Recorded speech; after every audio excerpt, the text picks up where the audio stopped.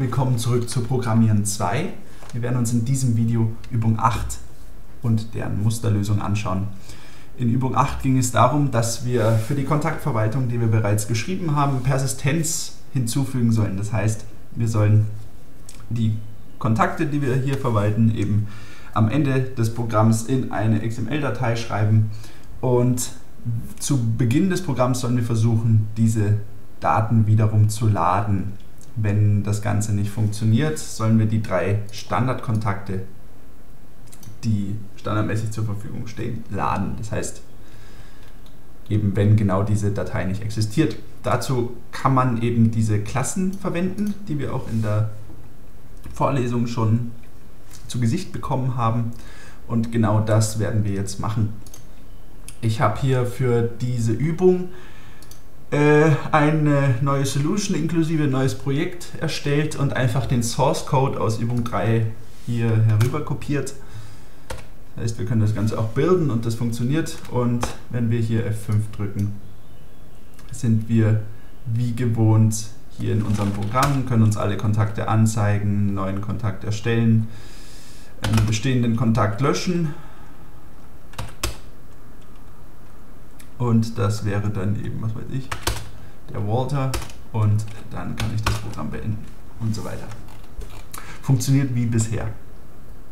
Gut, das erste, was wir machen müssen, was auch hier in der Anleitung steht, ist, dass wir die Assembly System Runtime Serialization mit hinzufügen müssen, weil dort eben einige dieser Klassen hier, insbesondere die drei hier oben, enthalten sind, die standardmäßig eben nicht referenziert sind. Das heißt, ich mache hier einen Rechtsklick auf Add Reference, äh, Entschuldigung, auf einen Rechtsklick auf References und wähle dann Add Reference aus.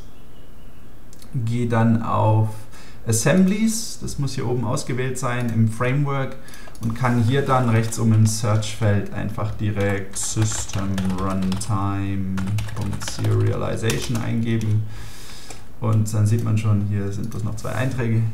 Mache ich hier einfach ein Häkchen hin und drücke OK. Damit ist äh, diese Assembly mit eingebunden und wir können die Klassen, die in ihr enthalten sind, mit in unserem Projekt einsetzen. Gut, das erste, was wir machen müssen, ist, äh, dass wir unsere Klasse Kontakt, die wir hier haben, eben mit den entsprechenden Sachen ausstatten. Das heißt, ich sage hier, dass es ein Data, Mem äh, Data Contract sein soll. Das sagt letztendlich nichts anderes aus, als dass der Serializer dann äh, weiß, dass er diese Klasse serialisieren darf und er nimmt dann eben alle Eigenschaften oder Felder, die wir mit dem Data Member Attribute kennzeichnen, mit ähm, in den Serialisierungsprozess auf und erstellt daraus XML. Heißt, wir wollen den Vornamen haben, deswegen setze ich hier Data Member. Wir wollen den Nachnamen haben, deswegen setze ich hier Data Member. Wir hätten eben gerne die Telefonnummer, die E-Mail, das Geburtsdatum, das Alter brauchen wir nicht. Und auch das brauchen wir nicht. Also im Prinzip alles, äh, wozu ein Feld existiert. Wenn wir solche Eigenschaften wie voller Name, die eben bloß die äh, Felder von zwei anderen Werten verbinden, äh, mit einsetzen wollen, dann macht das keinen Sinn. Okay, so sieht das Ganze aus. Wir haben jetzt unsere Klasse Contact mit den entsprechenden Dingen ausgestattet. Das nächste, was wir machen müssen, ist dass wir uns eine Klasse schreiben, in der wir tatsächlich die ähm, einen beliebigen Objektgraph serialisieren können. Und das kennen wir eigentlich auch schon aus der Vorlesung. Das ist eben der Persistenz-Service. Da hatten wir eben eine Methode drauf, die heißt speichere Objektgraph. Und wir müssen hier eben einen Dateipfad mit angeben. Und dann können wir das Ganze auch noch mit t parametrieren.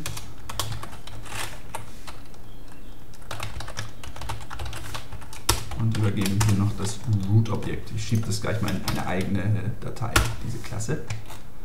So. Das erste, was wir natürlich erst überprüfen, ob diese Dinge hier null sind. So, dann brauchen wir eben einen XML-Writer in diesem Fall.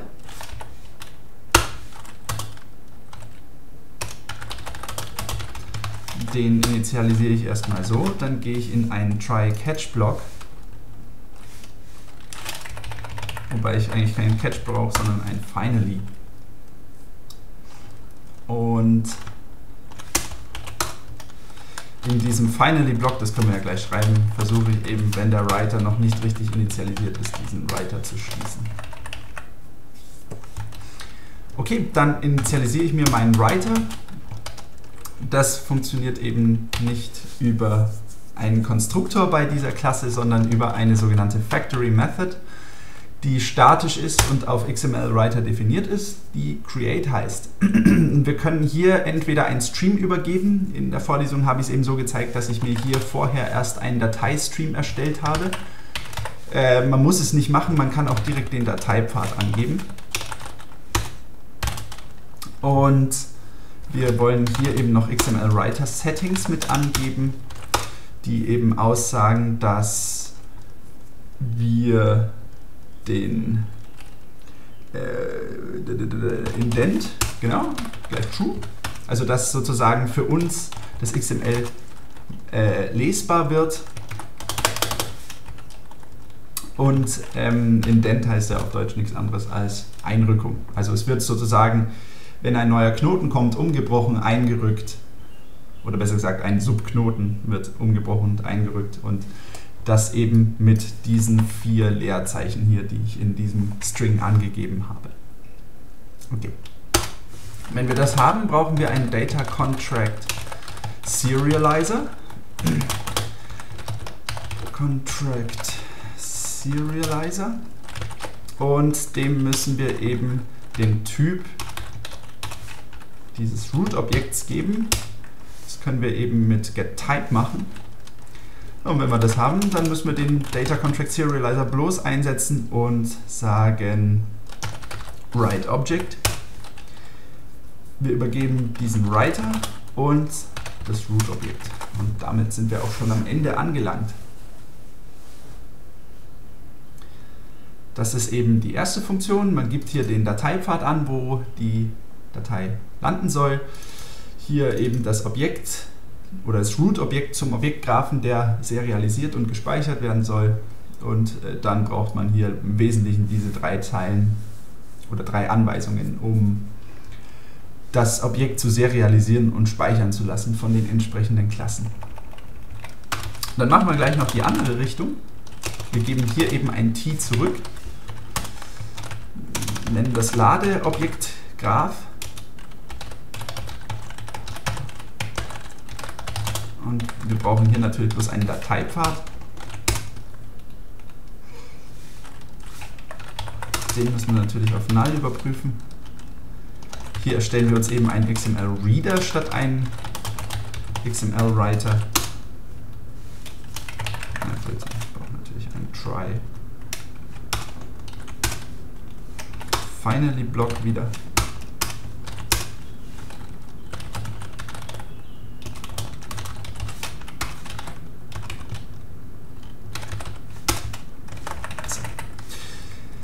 auch hier können wir eben wieder diesen Reader über eine sogenannte Factory Method erstellen.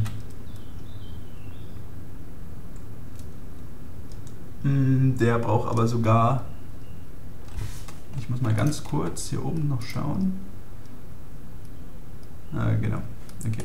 Der braucht tatsächlich eine URI. Ich sehe hier jetzt keine Überladung dass wir hier einfach eine Input-URI nehmen können. Deswegen werde ich hier direkt mal einen File-Stream erstellen.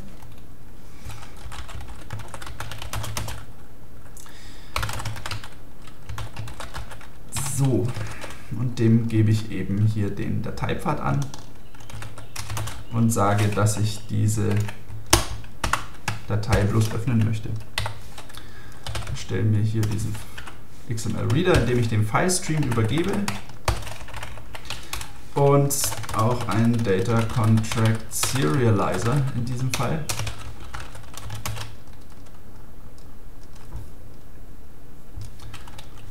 der eben dafür eingesetzt werden kann, das Ding nicht nur zu serialisieren, sondern auch zu deserialisieren.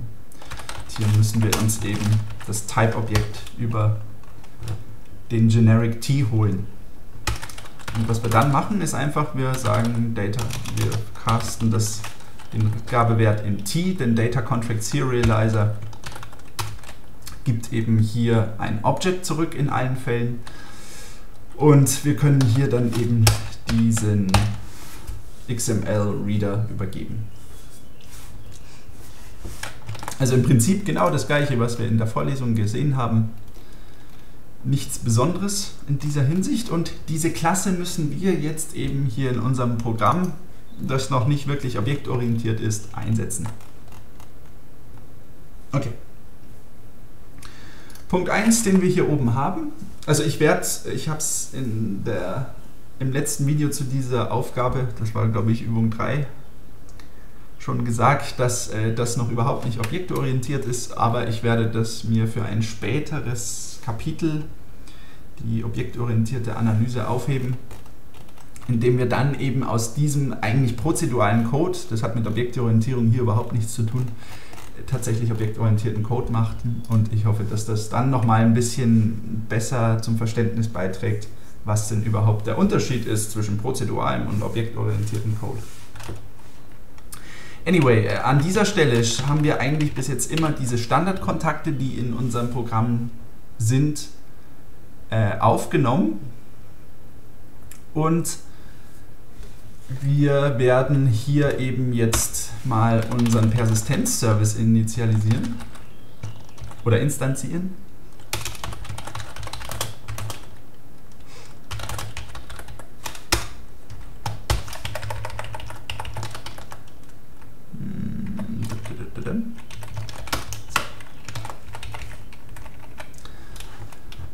Okay, was wir jetzt eben machen können, wir versuchen jetzt hier in einem Try-Catch diesen Objektgraph zu laden. Und wir hätten hier eben gerne eine Liste von Kontakten. Wir müssen natürlich einen Dateipfad angeben. Den können wir jetzt direkt hier oben festlegen. Das ist eben unser Dateipfad, der heißt nichts anderes als Kontakte XML.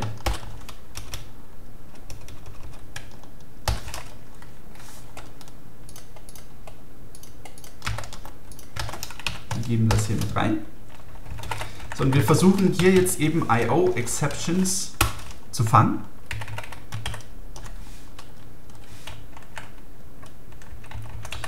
Und äh, wir werden auch direkt die Liste von Kontakten hier oben definieren.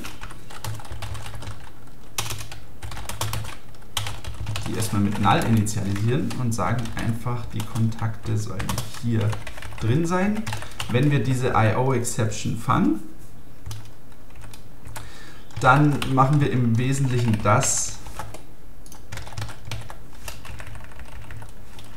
äh, was wir hier oben sehen, wir werden eben die Kontakte hier mit den Standardwerten initialisieren. Und das Programm bricht eben nicht ab, weil wir beim Dateizugriff eben nur diese Fehler hier, also irgendwas, was von IO-Exception ableitet, hoffentlich bekommen. Wir geben dann aber noch dem Nutzer eben aus. Ähm, Kontakte konnten nicht geladen werden. Standardkontakte werden bereitgestellt. Mhm, mhm, mhm. Okay, gut. Wenn Sherpa sagt, das brauche ich nicht, dann brauche ich es auch nicht. Und äh, wenn wir das eigentlich jetzt haben, könnten wir jetzt loslegen, dass wir das Ganze mal so ausprobieren. Ich werde mal durch diesen Code jetzt durch debuggen. Wir fangen eben hier an. Wir sind beim Persistenz-Service und machen hier jetzt eben den Versuch, dass wir das Ganze laden. Wir können auch direkt mal in die Funktion reingehen. Wir sind hier jetzt eben in dem Fall, dass wir jetzt den Filestream erstellen und hier sollte jetzt eine Exception eigentlich fliegen. Und wir sehen hier eben, dass wir tatsächlich in diesem Finally-Block ankommen. Und das heißt eben hier, dass wir in diesem Fall in diesem IO-Exception-Block drin landen. Tatsächlich haben wir hier eben, um es genau zu nehmen, eine sogenannte File Not Found Exception, eben weil diese Kontakte XML-Datei noch gar nicht existiert, die wir hier eben versucht haben anzusprechen und daraus die Daten zu laden. Okay, dann machen wir weiter.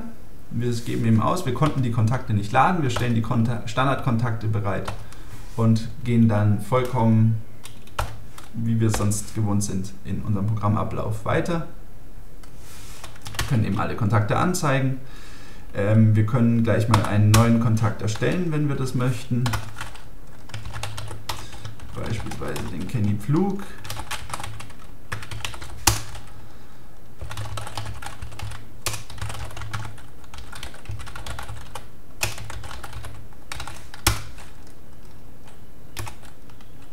Okay. Heißt, ich bin jetzt auch hier mit enthalten. Und im Prinzip können wir jetzt das Programm beenden. Es war vollkommen sinnlos, was ich jetzt gerade gemacht habe, denn ich habe ja noch gar nicht am Ende des Programms gesagt, dass ich speichern möchte. Okay. Das heißt, wenn wir aus dieser While-Schleife rauskommen, dann muss ich natürlich wiederum den Persistenzservice einsetzen und das, den Objektgraph speichern, den ich haben möchte. Und das sind natürlich meine Kontakte, die ich hier habe. Vorher muss ich den Dateipfad angeben. Auch das mache ich in einem Try-Catch-Block. Es könnte auch hier sein, dass ich in irgendeiner Form eine Exception bekomme. Auch hier fange ich wieder eine IO-Exception und sage letztendlich bloß, die Kontakte konnten nicht gespeichert werden. Hier sollte man eigentlich natürlich noch irgendwie was loggen, dass man vielleicht, also den, den User sollte man auf jeden Fall vor direkten Exception-Texten verschonen. Ne, die sind überhaupt nicht daran interessiert, die Internas unserer Implementierung zu kennen. Äh, wir sollten aber eigentlich hier sagen, dass wir aus hier noch einen Parameter wirklich draus machen in diesem Catchblock für diese Exception und diese Exception irgendwo hinloggen oder irgendwie an uns als Entwickler übermitteln, damit wir sozusagen feststellen können, hoppla, hier ist was schiefgelaufen. Also im Prinzip sollte eigentlich eine Applikation weitgehend ohne Exceptions ablaufen. Es sollte nicht Standard sein, dass ständig Exceptions fliegen und die uns dann im Produktivsystem als Entwickler egal sind. Es kommt natürlich an, an welcher Stelle das ist. Ich meine, hier oben ist das Auftreten der Exception zumindest beim ersten Start der Applikation logisch, weil die entsprechende Datei nicht existiert. Aber wenn er hier beim Schreiben Probleme hat, dann äh, sollte uns das einigermaßen zu bedenken geben. Wobei es kann natürlich auch sein, dass irgendeine andere Applikation gerade diese Kontakte XML blockiert.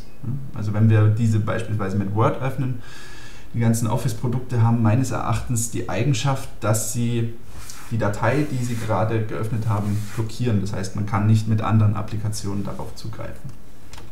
Anyway, wir lassen es jetzt in dieser einfachen Variante.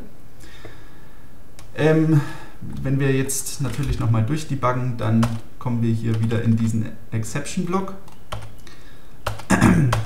geben eben diese Fehlermeldung aus und können dann hier ganz normal weiter fortfahren. Also ich kann mir dann wieder einen neuen Kontakt erstellen.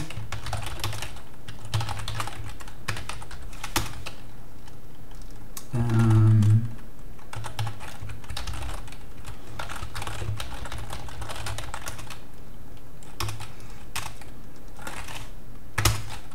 Und ich bin jetzt tatsächlich enthalten. Ich werde jetzt noch mal kurz einen Breakpoint hier unten setzen, wenn wir aus der Schleife rauskommen. Nicht beim Catch, hier unten. Okay, und dann werde ich eben sagen, dass ich jetzt das Programm beenden möchte. Und wir landen jetzt tatsächlich hier eben außerhalb der Schleife und versuchen jetzt diesen Objektgraph zu speichern. Das heißt, wir versuchen jetzt hier eben diesen XML-Writer aufzubauen, dann den Data Contract Serializer und dann schreiben wir eben hier die Datei und am Ende schließen wir den Writer. So, keine Exception aufgetreten, das Programm ist jetzt am Ende und wir sind draußen. Rein theoretisch, ich merke gerade, das sollte eigentlich Übung 8 heißen, nicht Übung 7. Das muss ich dann noch ausbessern. Ähm, Im Wesentlichen könnten wir jetzt natürlich hier mal im Datei-Explorer hier in dieses Debug-Verzeichnis gucken und wir sehen hier eben tatsächlich, hoppala, Entschuldigung, ich wollte das haben, hier ist eine Kontakte XML Datei, die jetzt eben parallel zu unserer äh, Assembly liegt, die wir hier gerade ausgeführt haben. Und hier, wenn wir diese jetzt aufmachen, sehen wir tatsächlich, dass hier eben im Data Contract Serializer üblichen Format eben jetzt hier die Liste von Kontakten als Array of Contact abgelegt wurde. Das ist unser Root-Knoten im XML-Dokument. Ich könnte das Ding vielleicht auch mal in Visual Studio laden, dann sieht man es ein bisschen besser als in Notepad. Genau. Und wir sehen hier jetzt eben, dass wir hier jetzt die einzelnen Kontakte haben, die wir hier sehen. Und äh, da bin auch ich schon mit enthalten, wie wir hier unten feststellen können. Okay, dann können wir natürlich wieder zurückgehen und uns nochmal den Programmstart anschauen. Weil jetzt sollten ja tatsächlich das Laden möglich sein. Das heißt, wir haben hier jetzt eben einen XML-Reader. Und wir geben jetzt hier eben diese Liste. Oh, hier ist eine Exception aufgetreten. Moment. Ne, es ist keine Exception aufgetreten. Entschuldigung, er geht ja immer in den Finally-Block rein. Blödsinn. Also bitte meine gerade, meine Aussage von gerade eben ignorieren. Und äh, wir haben hier jetzt eben tatsächlich nicht die Standardkontakte drin, wie wir hier sehen, sondern Entschuldigung, hier eben tatsächlich vier Stück und ich sollte dann auch der letzte sein. Genau.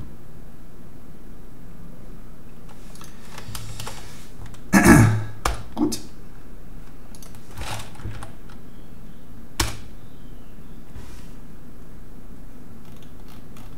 Ich habe noch einen Fehler drin, glaube ich.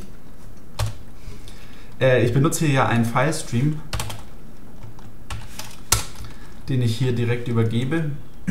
Also entweder, ich, ich muss ihn mit zumachen. Das habe ich hier, glaube ich, vergessen. Wenn ich hier lade. Das heißt, ich müsste eben gucken, äh, ich müsste hier eben diesen Filestream auch hier hoch auslagern, damit ich hier unten im Finally-Block drauf zugreifen kann.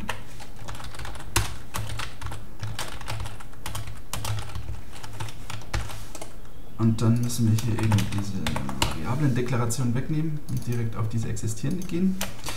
Was ich dann aber hier eben machen kann, na, jetzt, dass ich hier genauso eben den Reader schließe und den Filestream schließe. Das wäre eine Möglichkeit, dass man das macht. Das habe ich eben hier gerade noch vergessen. Ähm, wahlweise kann man aber auch einfach sagen, dass wir hier dem XML-Reader wiederum Settings mitgeben und wir sagen hier eben, dass er den Eingabestream schließen soll mit Close Input gleich True. Dann können wir uns das hier wiederum sparen, genauso das hier oben und dann brauchen wir hier natürlich wieder eine Variablen-Definition. Es kam gerade am Ende des Programms noch das Problem, also wir sind hier in diesen, wo sind wir?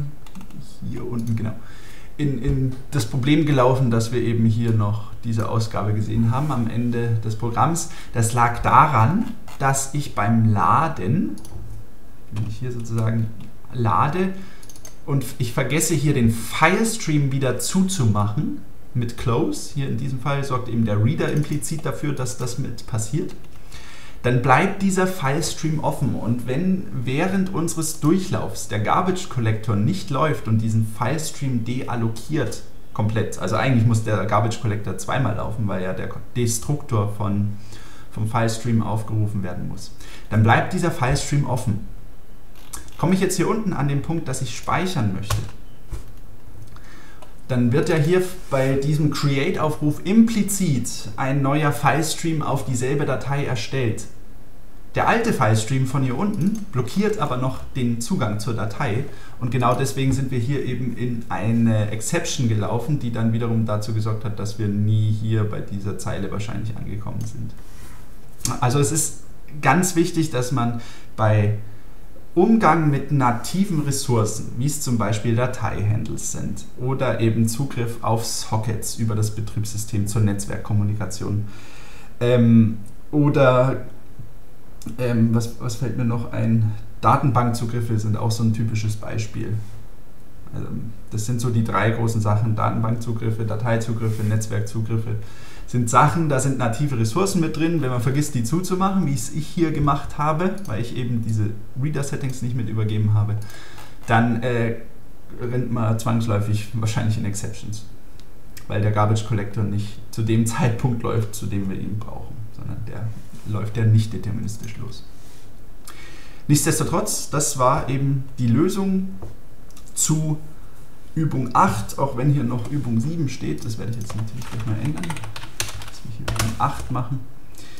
Und ähm, wenn Sie Fragen haben, gerne wie immer an mich. Ich sage vielen Dank fürs Zuschauen und wir sehen uns beim nächsten Video wieder. Bis bald.